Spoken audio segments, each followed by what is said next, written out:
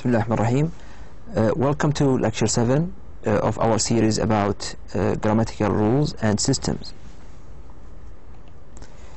Uh, if you remember in the previous lecture, lecture 6, uh, we talked about apposition.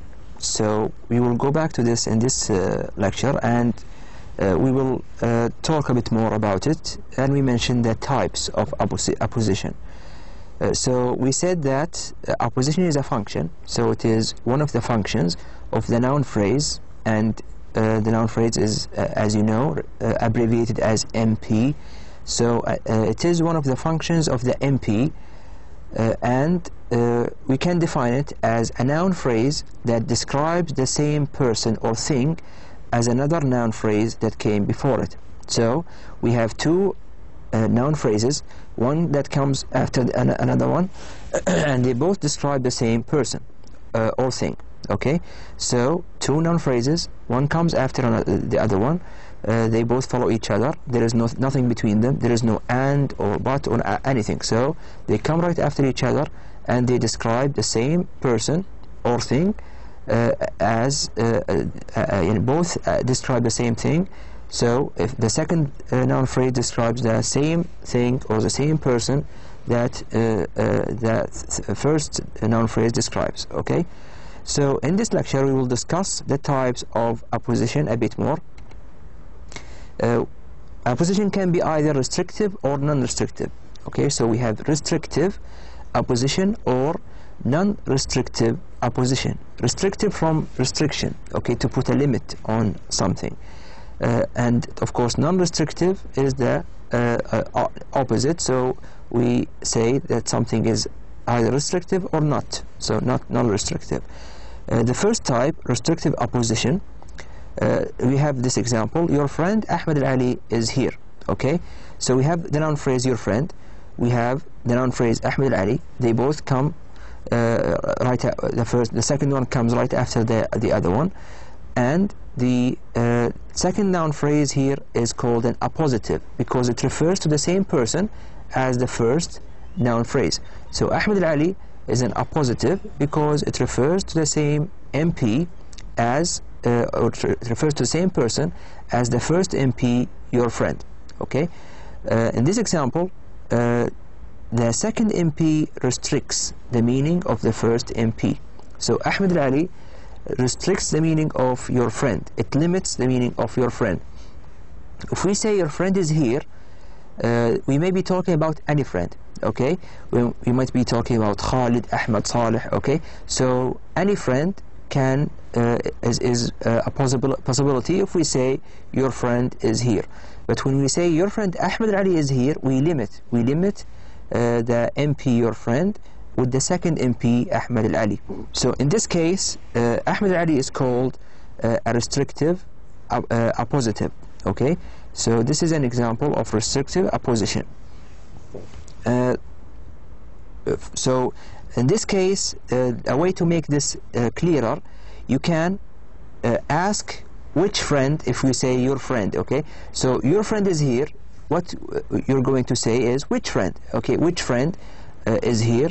And Ahmed Ali answers this question. So ah, your friend Ahmed Ali, uh, your friend. When we say which friend, it is Ahmed Ali. Okay, so uh, in this case, Ahmed Ali limits and restricts the meaning of the first NP. Uh, we call the NP Ahmed Ali in the previous example a restrictive appositive. Okay, and you will note that in this type of apposition we do not use commas before and after the appositive. So if you go back to the uh, sentence and look at it again, you will notice there are no commas before Ahmed Ali and after it. Okay, uh, in the next type of apposition, we use commas, and we will see this uh, in a bit. So uh, the second type, non-restrictive apposition. For example, Ahmed Al Ali, comma, your friend, comma, is here. Okay, so Ahmed Al Ali, your friend, is here. Here we have two noun phrases. Uh, Ahmed Ali is the first noun phrase. Your friend is the second noun phrase. They both come uh, right next to each other, and uh, the second uh, noun phrase refers to the same person and it is similar to the previous example but we, what we did here is what we started with Ahmed Al Ali. Okay, so in the in the, in uh, in restrictive apposition, Ahmed Al Ali came after your friend. Okay, uh, or your old friend.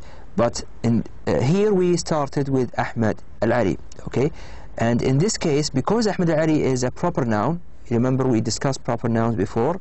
We said they are unique. Okay, so Ahmed Ali refers to uh, one person, one individual and it and this is why we, it doesn't need modification when we say your old friend you will ask which old friend okay but when you say Ahmed Ali you know you know that Ahmed Ali is a particular person that is unique uh, and this is why uh, your old friend gives additional information okay?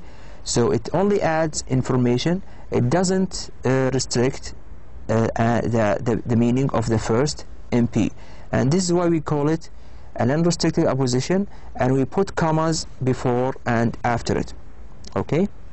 So your old friend is an unrestricted apposition and we use commas uh, before and after it. So it only adds information okay? It doesn't restrict it doesn't uh, it doesn't restrict and it doesn't limit okay? So your old friend is an unrestrictive is an example of an unrestrictive apposition uh, also you note here as I said before so we uh, use commas in this type before and after the appositive let's look at this exercise. Decide whether the appositive in the following sentences is restrictive or non-restrictive. So you need to look at each sentence find the appositive and then decide is it restrictive or non-restrictive? Uh, look at number one. The shopkeeper Uthman is a hard working man. So we have two noun phrases the shopkeeper and Uthman okay? Uh, and they are both uh, the, the Uthman comes right after the shopkeeper. So Uthman is a, an appositive. But it uh, also serves to limit uh, the first NP okay? When we say the shopkeeper is a hard-working man we might refer to any shopkeeper okay? Uh, you might ask which shopkeeper do you mean right? But when we say the shopkeeper Uthman we restricted the meaning of the first NP. We are now talking about someone uh, called Uthman who is a shopkeeper. Okay, so in this case, Uthman uh, is the appositive and it is restrictive. So in number one, Uthman is a restrictive appositive. In number two, Dr. Omar, my linguistics professor, published a book. Okay, so there is a person called Dr. Omar and he is my linguistics uh, professor. Uh, these are two noun phrases, two NPs. Uh, the, Dr. Omar came first, my linguistics professor came right after it. So my linguistics and they both refer to, to the same person. So they both refer to Dr. Omar. Uh, and in, in this case, my linguistics professor is an appositive, uh, but it doesn't restrict the meaning. So when we said Dr. Umar, we know the person exactly. Okay, we will not ask. Uh, so Dr. Umar, who is Dr. Umar? Okay, we know the speaker and listener know know that uh, this uh, Dr. Umar is the professor of linguistics. Okay, so the listener and speaker understand uh, which Dr. Umar uh, we mean. So my linguistics professor is not restrictive. It doesn't restrict the meaning of the NP, Dr. Umar, and this is why my linguistics professor is called an unrestricted appositive. So number two, the answer is B. Uh, three, Majid and Saleh, my cousins, will visit us tomorrow. Okay, so again, Majid and Saleh, first MP, my cousins, second MP, they refer to the same persons. This uh, both are plural, of course, uh, and uh, my cousins doesn't limit, doesn't restrict uh, the proper nouns Majid and Saleh. So in this case, my cousins uh, is an unrestricted appositive. All right. So the answer number three is B. Okay. Uh, now we move on to prepositional phrases. So we mentioned, uh, talked a bit about prepositions and the function of the noun phrase uh, that comes after a preposition. Uh, and both the preposition and the noun phrase are called uh, a prepositional phrase okay so a prepositional phrase uh, consists of or compo is composed of a preposition and the noun phrase. Okay, so you notice here we have a phrase within a phrase. Huh? We have a noun phrase inside a prepositional uh, phrase. So uh, prepositions, as uh, as you remember, uh, are words like in or on, uh, which are followed by a noun phrase, as we said. For example, Muhammad is in the classroom. In the classroom is a prepositional phrase. We have in, which is a preposition, and we have the classroom, which is a noun phrase. We have the and classroom. Uh, this is, as we called it, a nominal group. Okay.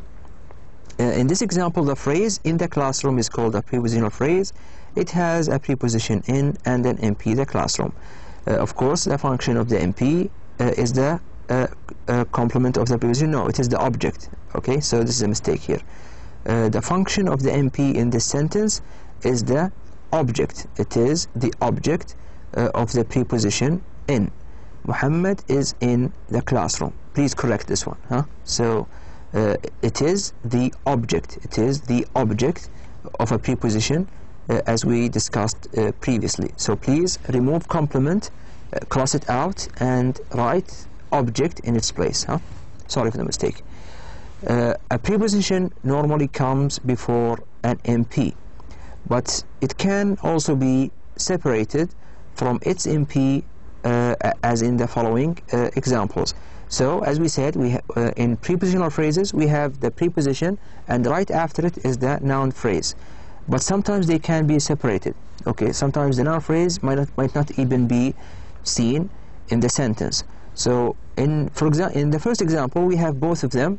Uh, uh the first the preposition and then the noun phrase as usual. So the man is standing on the platform. The preposition on, and the platform uh, is the object of the preposition. It is uh, here uh, and they are both right next to each other as usual. But we can also say what is the man standing on? Okay? So we are asking about the object or thing that the man is standing on so the platform the noun phrase is not seen in this sentence okay uh, so it is separated uh, from the preposition. The preposition is now separated from the noun phrase, the platform. But there is still association between them. Okay, so when you are going, when you, you answer quest this question, the platform will appear again. So what is the man standing on? The answer will be he is standing on a platform, okay, or on the platform. So the platform is still there, okay, there is still association between it and the preposition. Uh, the next example here, the platform that the man stood on was very narrow. Okay, we can uh, put a clause in the middle here. So the platform, the noun phrase, came before the preposition, and uh, it is here the, the platform that the man stood on. All this is the subject.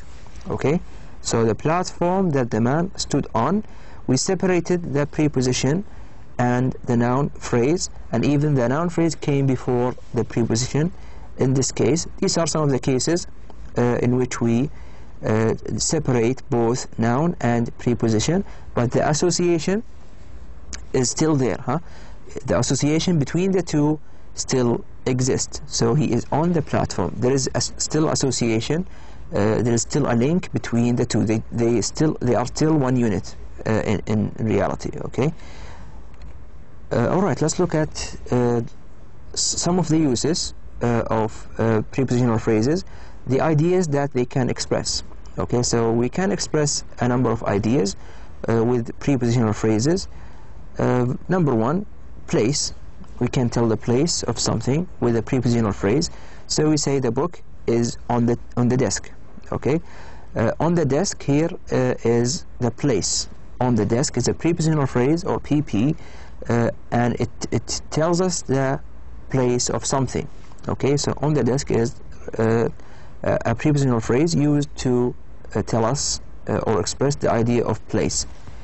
Number two movement. He walked to the mosque. Okay so here we are expressing movement. Someone walking moving and going to a place. Here in this case the mosque. Okay so to the mosque is a prepositional phrase and it expresses the idea of movement. Uh, number three, I finished the exam in one hour. So here we have time. uh, one hour, which is the time it took me to finish the exam. So this is a prepositional phrase that expresses the idea of time. Manner as well. Uh, manner means the way to, uh, of doing something. Okay, how, how uh, someone does something. This is called manner. So he finished it with little effort. Okay, so the way he finished it, the manner he finished it, is with little little effort. So he didn't uh, use much effort to finish uh, this thing. Okay, so he finished it with little effort. This is the manner of finishing uh, uh, something uh, that the person did. Okay, so with little effort is an expression of manner, and it is one of the uses of a, the prepositional phrase with little effort. Number four, purpose. So purpose means uh, whether this belongs to this uh, someone or what is your intention for doing something uh, or getting something so what is your purpose uh, this message is for Ahmed.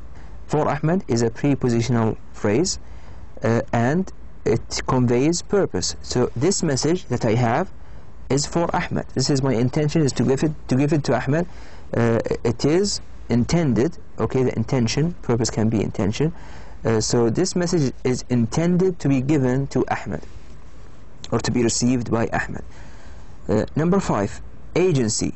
Uh, if you remember in your previous studies of the passive and active, uh, we said that, uh, or you, you, might have learned that in, in the passive, you can add the agent to the end using by, using the preposition by. So the window was broken the window was broken by the young boy. So the young boy is the person who broke the window. In the active voice, we say the young boy broke the window. So here it is the subject. Uh, the young boy broke the window. This is active. We call it active voice. You remember voice? We discussed voice previously. In the passive voice, okay, we uh, take the window and make it the subject. So we say the window was broken, was there to be, plus the past participle there to be plus the past participle which is one of the type of verbal groups if you remember uh, so was broken by the young boy. We can say the window was broken full stop. It's okay. It's a complete sentence. Okay the window was broken full stop. But when we say by the young boy we mention the person or the agent that did the uh, uh, action here which is breaking the window. Okay? So by the young boy we have a prepositional phrase that gives us the idea of agency. Number six, instrument. So uh, an, an, instrument here is like uh, a pen, a hammer, or anything that you use uh, to do something with. So I wrote with a pen. Okay, so I used a pen as an instrument uh, uh, to write with. Okay, so I wrote with a pen. With a pen is a prepositional phrase that gives us the idea of instrument. Alright, let's look at this exercise. Choose the meaning expressed by the prepositional phrase in the following sentences. So we uh, discussed a few meanings. Here we have four of them. Uh, place, sorry, place, time, manner, and instrument. Okay, please, place, time, manner, and instrument. Uh, number one, my office is located on Riyadh Road. so on Riyadh Road, uh, what is this? What, what is the idea here? Is it a place? Is it a time? Is it manner or instrument? Uh, on Riyadh Road in this case is, of course, a place. Okay? So my office is located on Riyadh Road. On Riyadh Road is a place. So the choice here for number one is A. The place where my office is located. Uh, number two, he grad graduated college with a good GPA. He graduated college with a good GPA. Uh, is this a place? No. Is it a time? Is it an instrument? Uh, no. So it is a manner. So the manner in which he graduated college is with a good uh, GPA. So throughout college and after he uh, and until he graduated, he did this. He did. Uh, he achieved uh, graduation with a good GPA. So this is the manner in which he did this thing. number three, he fixed the door with a hammer okay? You notice we use the same preposition uh, in 2 and 3 but they both give different uh, meanings. So in this case in number 3 he fixed the door with a hammer. This is an instrument. We used a hammer to fix the door. Okay? He used the hammer to fix the door. So this is the instrument he used to fix the door. So the choice is of course D huh? So number 3 is D and it is different from number 2 uh, which is C manner. In number 4 they will visit us on Monday. So is this a place or a time or manner or instrument? Uh, it is time of course. So so uh, they will visit us when? On Monday. So this is the time uh, in which they will visit us. Uh, number 5 the artist finished the sculpture with great talent. With great talent. So what is this? Is this a place? No it's not. Is it a time? Is it an instrument no it's the manner in which he achieved something.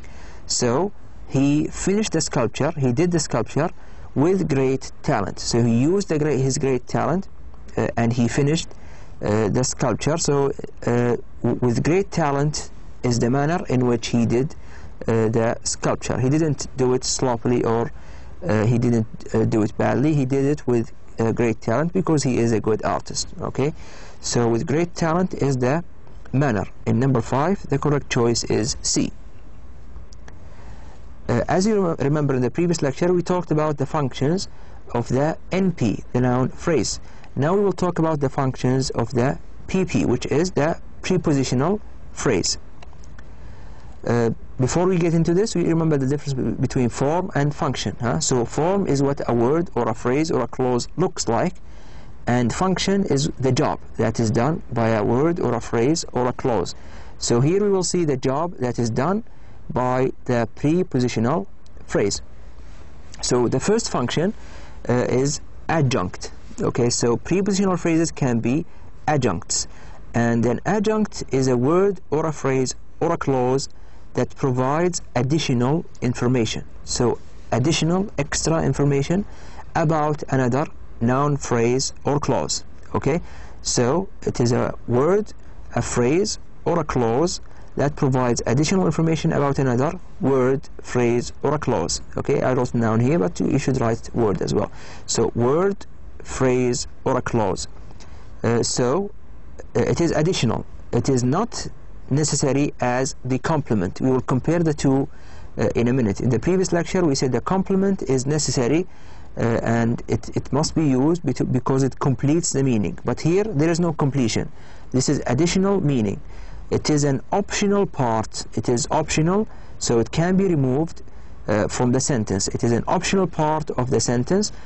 If we remove it the meaning will be complete okay? Will still be complete. There will, there won't be uh, any you know the, the meaning will not uh, uh, suffer because we removed the adjunct so the adjunct just gives additional information so if we remove the adjunct the meaning will still be complete and the sentence will still be grammatical. So the grammaticality of the sentence will still also be uh, uh, the same. It will not be affected uh, and it will not turn into an ungrammatical sentence. Okay? So if, you, if we remove adjuncts, the meaning will still be complete and the grammaticality of the sentence will remain the same. It will not be uh, become ungrammatical. Okay, so it is just for additional information uh, about uh, something else. So it is not a necessary part of the structure of a sentence, uh, and as we said, it, they can be removed without lack of or suffering in meaning or grammaticality. Adjuncts are usually adverbials, uh, and you will see what we mean by adverbials here in a second.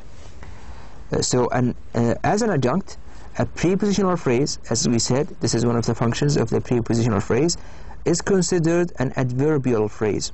So the prepositional phrase uh, is considered an adverbial play, uh, phrase because it does the same job as an adverbial.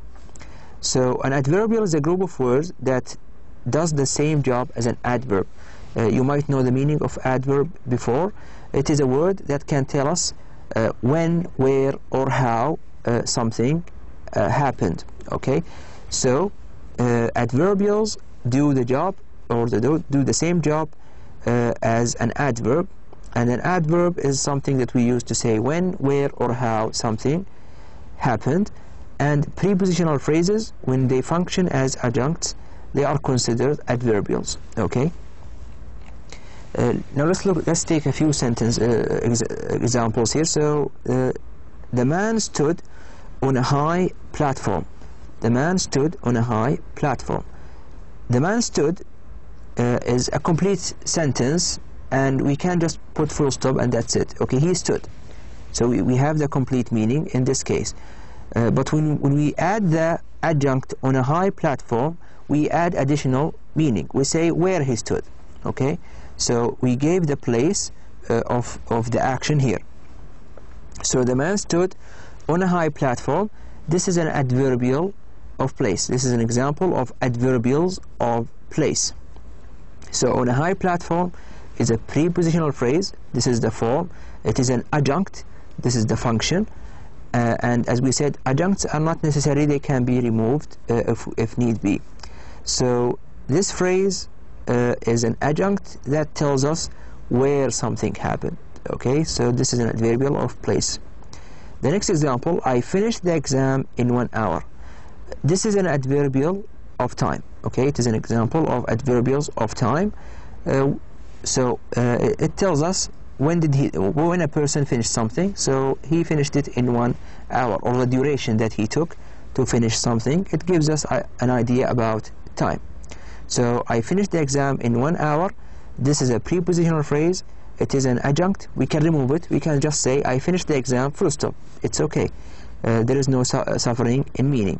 So I finished the exam. Full stop is a complete sentence. It is grammatical. When we add in one hour we add additional meaning using the prepositional phrase. So in one hour is an adjunct uh, in this case as well. And it tells us when something happened. uh, the third example he finished the exam with little, little effort. He finished the exam with little effort. With little effort effort uh, gives us manner. And we said here uh, uh, between the two uh, brackets that uh, it is the another kind of adverbial. So we have other adverbials uh, like this one that gives us manner. So he finished the exam with little effort. It took him little effort to finish uh, the exam so this tells us how something how something happened uh, in this case how he finished the exam. He finished it with little effort. And in this case with little effort is an adjunct because we can say he finished the exam full stop it's okay it is a complete sentence but we add more meaning when we say with little effort. We, we give an idea about how this happened how he uh, this person finished the exam uh, we have an important note very important note here. The comparison between adjuncts and complements okay? So here we'll compare the definition of adjuncts uh, with complements. Uh, complements of course were discussed in lecture 6 in the previous lecture. So uh, as we said in, in lecture 6 a complement is necessary for the meaning to be complete okay? So we need complements if we want the meaning to be complete. If we remove a complement the meaning will be incomplete and the sentence will be ungrammatical okay? So the meaning will be incomplete without the complement and our sentence will become ungrammatical okay? It will become an ungrammatical sentence. On the other hand uh, in the case of adjuncts uh, an adjunct is not necessary okay? So it is not necessary for the completion of meaning. So it just adds additional uh, information. It adds extra information to uh, the, the sentence okay? So uh, if we remove it the sentence will still be grammatical. It will still be grammatical uh, and the meaning will still be there okay? We we lost the extra information of course the additional information but that uh, it is not necessary for the completion of the meaning okay? The meaning is still there but it, it might lack a bit a few details but it is still there. But without a complement the meaning is lacking okay we need a complement for the meaning to be complete so the complement is necessary the adjunct is not necessary uh, for the completion of meaning uh, the second function of the prepositional phrase is the complement of the subject plus be. And this is similar to the noun phrase. If you remember, we said uh, it can also function as the complement of subject plus be. So we have uh, this example, the book, which is the subject is is the verb to be okay uh, and on the desk is the prepositional phrase. Uh, here it is the complement because if we remove it the meaning will not be complete. So if we say the book is full stop that is not uh, a complete sentence. So it is ungrammatical. So the book uh, is on the desk on the desk is a complement. So in this example it is a complement of the subject the book and the main verb uh, to be is. The third function is a post modifier in an NP so we discussed noun phrases before and we talked a bit about modifiers as well. We talked there are there are uh, two kinds of modifiers pre-modifiers that come before the head and post modifiers that come after the head. Uh, the desk is a noun phrase and in the classroom is part of the noun phrase. Uh, in the classroom is a post modifier okay? It adds information about the desk the desk in the classroom we can take all this and we put it in its place okay? This is how you know uh, that it is part of the noun phrase. So the desk in the classroom we can say it instead of the, uh, the using the whole noun phrase. So the, the desk in the noun uh, uh, the desk in the classroom is covered with books. We can say it is covered with books okay so the desk in the classroom is one phrase it is a noun phrase and this noun phrase is composed of uh, the noun phrase the desk and the prepositional phrase in the classroom okay? And we have uh, in this case desk is the head the is a modifier it is a pre-modifier that comes before the head desk and in the classroom is a post modifier the whole prepositional phrase all of it in the classroom all of it is a post modifier uh, for the NP okay or in the in the NP so the desk in the classroom uh, in the classroom in this case is a post modifier. We can change the whole phrase to it all right? So this is how you understand uh, how this uh, works. Uh, so in this example uh, in the in the classroom modifies the noun phrase uh, or the NP the desk the NP is the head and the PP or the prepositional phrase is a post modifier because it comes after the head. Remember post means after. The fourth uh, and final function of the prepositional phrase is the complement of an adjective. Okay again complement is something necessary for the completion of meaning. And here we can have complements for adjectives. So for example Ahmed is good at mathematics okay? So Ahmed is a subject uh, is, is a verb and good is an adjective. We will discuss adjectives a bit in the, in the coming lectures. Uh, but good is an adjective and at mathematics is a prepositional phrase and it gives us uh, necessary information for the completion of the meaning uh, in this sentence. So when we say Ahmed is good you will uh, wonder what is he good at okay what is he good at? So Ahmed is good. He is good at mathematics. Alright? So Ahmed is good at mathematics. At mathematics is a prepositional phrase and it is the complement of the adjective good. Uh, as, and as, as I said uh, adjectives will be discussed in more detail in the coming lectures. Uh, now let's look at this exercise. Choose the correct function for the underlined PP uh, or prepositional phrase uh, the first function A the complement of subject plus B. Uh, the function B complement of an adjective. Function C adjunct. And D post modifier in an NP so let's look at number one. We finished our exam in two hours. We finished our exam in two hours. So what is this? Is it a complement or is it an, ad an adjunct or is it a post modifier so first of all, it's not a post modifier, okay? Uh, so we can't take exam in two hours, for example, and say it uh, in its place, okay? Or, uh, any other uh, pronoun. So we finished our exam in two hours.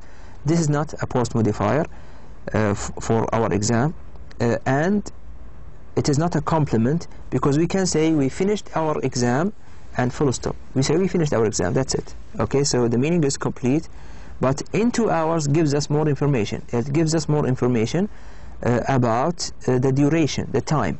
Okay and this is why we call it an adjunct. So it is an adverbial to give us time and uh, it is additional it is not necessary and this is why we call it an adjunct. So in number one the correct answer is C.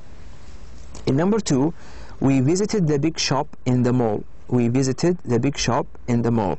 So here uh, we have we which is the subject and visited uh, which is the verb. The big shop in the mall uh, is uh, uh, one unit you notice. We, say, we can say we visited it. We visited it okay? So the big shop in the mall in the mall is not an adjunct in this case okay? So uh, we, we, need it uh, in this case uh, to complete the meaning. So we visited the big shop in the in the mall is needed to, to give us more information about the big shop. Okay?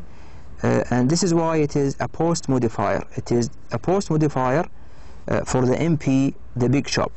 Okay? So the big shop in the mall we can all take it and put it in its place. Okay so the big shop is a noun phrase in the mall is a post uh, modifier uh, of, of the uh, uh, noun phrase the big shop. So in this case number two uh, we visited the big shop in the mall. It is a post modifier. So D is the correct answer. So we can say we visited it huh? it is all a noun phrase. It is part of the noun phrase. Uh, in number three Muhammad is fluent in English. Muhammad is fluent in English. Okay here we have Muhammad which is the subject is the verb and fluent which is an adjective huh? fluent is an adjective uh, and in English completes the meaning of fluent. When you say Muhammad is fluent uh, you might ask what is he fluent at? Okay so is he fluent at uh, this language at that language? So we need in English to complete the meaning so in this case it is the complement of an adjective so in number three the correct answer is B it is a complement of the adjective fluent uh, number four Ahmed was in his uncle's house. Ahmed was in his uncle's house. Here we have Ahmed, which is the subject. We have was, which is the verb to be. Uh, and we have in his uncle's house, which is necessary for the completion of the sentence. We can't say Ahmed was and stop, okay? We need to complete it. There is something necessary for the completion of meaning that is that cannot be removed from the sentence. So in number four, Ahmed was in his uncle's house. In his uncle's house is the complement of subject plus be. So in number four, the correct answer is A. Ahmed was uh, in his uncle's house. In his uncle's house is a, is a complement of the subject Ahmed and the verb to be was. Finally, number five, Ahmed's uncle has a big TV in his uh, in his house. Okay, so Ahmed's uncle has a big TV in his house. Uh, here we have Ahmed's uncle, which is the subject. We have has, which is a verb. And a big TV, this is a noun phrase.